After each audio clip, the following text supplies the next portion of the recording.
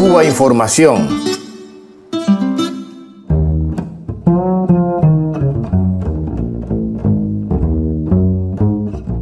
Si Estados Unidos normalizara sus relaciones con Cuba, muchas de sus empresas ganarían millones de dólares por ventas e importaciones de productos y servicios de ambos países. Millones de turistas de Estados Unidos que hoy lo tienen prohibido disfrutarían de las playas o la música de Cuba.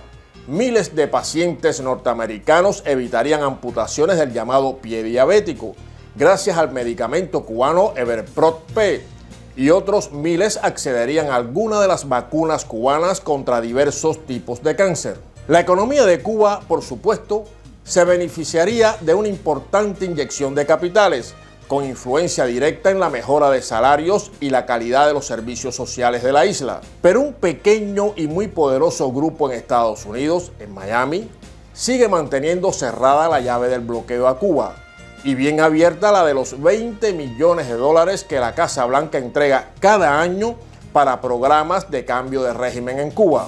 Estos fondos financian a organizaciones del autodenominado exilio cubano que a su vez sostienen a la llamada disidencia interna en la isla.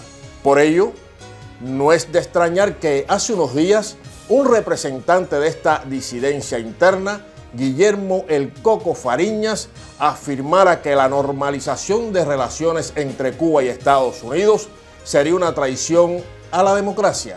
Lógico y evidente, porque esta normalización de relaciones derivada del levantamiento del bloqueo económico significaría el fin de la lluvia de dólares que agencias gubernamentales como la USAID entregan a personajes como Guillermo Fariñas, apadrinado y protegido por la mafia de Miami y la gran prensa internacional.